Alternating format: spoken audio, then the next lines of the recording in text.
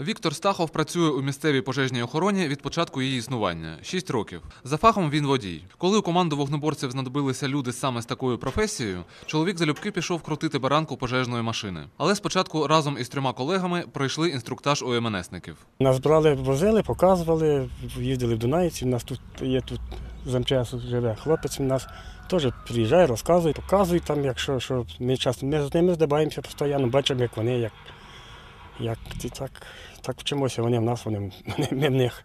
Чергують зіньківські пожежники добу через три. Рано дзвонимо, хто дежурить. Дзвонимо на Вінківці. Вінківці, хто тоді в селі, де горять, дзвонять на 101, а 101 вже дзвонить до нас. В кожному мобільний є. І ми вже тоді збираємося. На озброєнні у зіньківських вогнеборців усього одна машина. Це старенький, але надійний ГАЗ-66. Запас води у півтори тонни дозволяє впоратись із завданням майже будь-якої складності. А гасити доводиться то спалахнули сарай, то хлів, а то й палаючи поле або ліс. За технічним станом машини стежать як за цінним музейним експонатом. Дивимося, дивимося, заглядаємо, що голова допомагає багато, що, що і запчасті, і бензин, і, і все таке, що, що треба, то беремо, додає нам.